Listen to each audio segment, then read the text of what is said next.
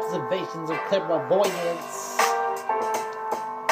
Within peculiar decades of learning, a stream of consciousness and the everlasting endurance of a redeemed mind, ever so lucky to be alive.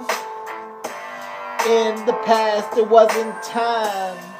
As we learned symbolism, we developed language and math, then we began to rhyme. Technology became our every facet to discover nature and learn from its designs.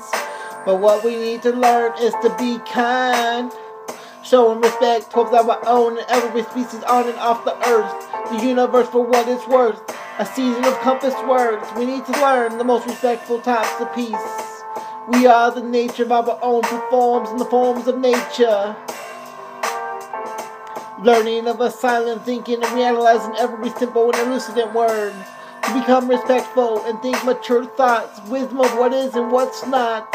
I believe everything we say about others is truly about ourselves, and everything we say about ourselves might resemble someone who influenced us.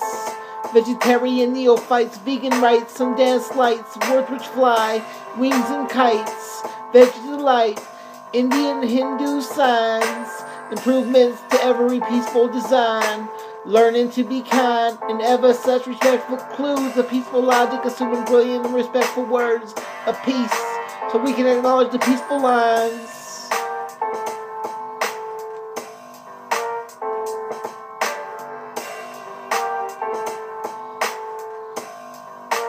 Leprechaun, leprechaun, leprechaun. Leprechaun. Leprechaun.